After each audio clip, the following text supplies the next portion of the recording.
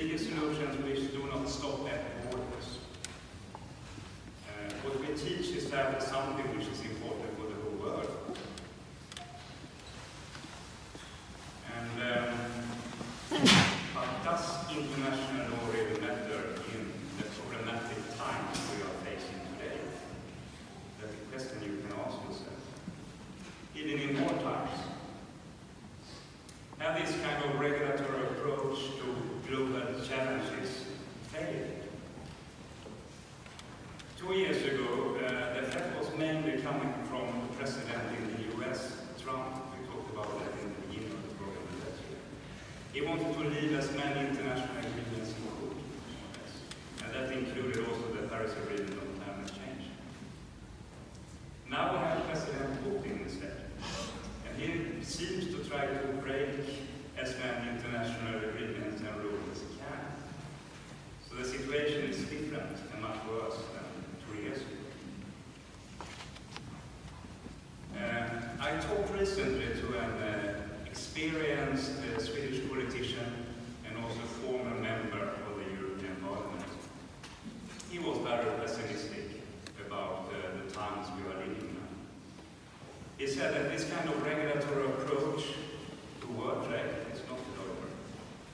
They said that uh, regarding human rights, trade and sustainability, that's something which is fading away.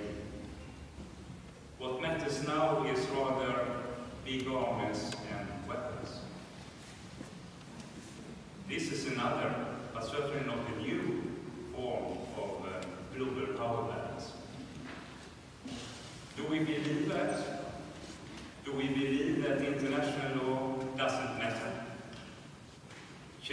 going on master programs and wait to better times? Uh, you know that I am not agreeing to this, of course. You realize that. But I will not start lecturing now. I mean, this is not the best occasion. But I will say this. The knowledge uh, your graduated students have obtained for international law is of paramount importance for the future. Law is and has always been the foundation peace and uh, prosperity. And the knowledge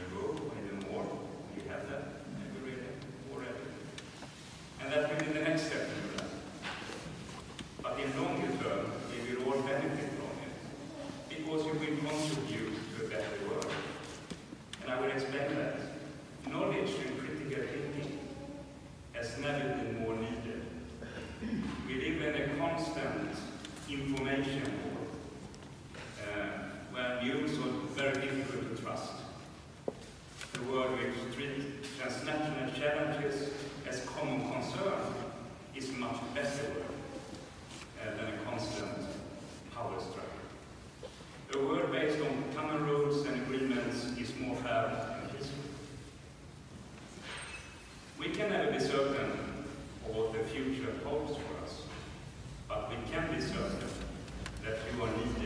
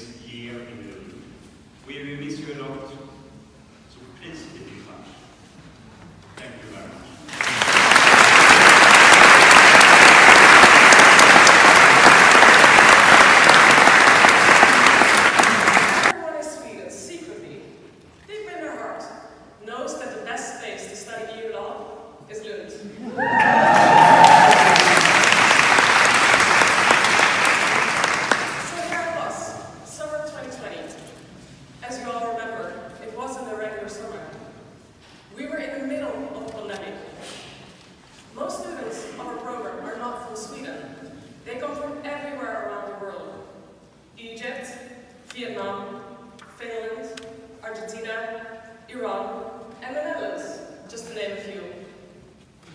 And for most of us, coming to Sweden was a relief. No lockdowns. Restaurants and bars were open. We had physical teaching on campus. And we even had some social events, barbecues and picnics to get to know each other.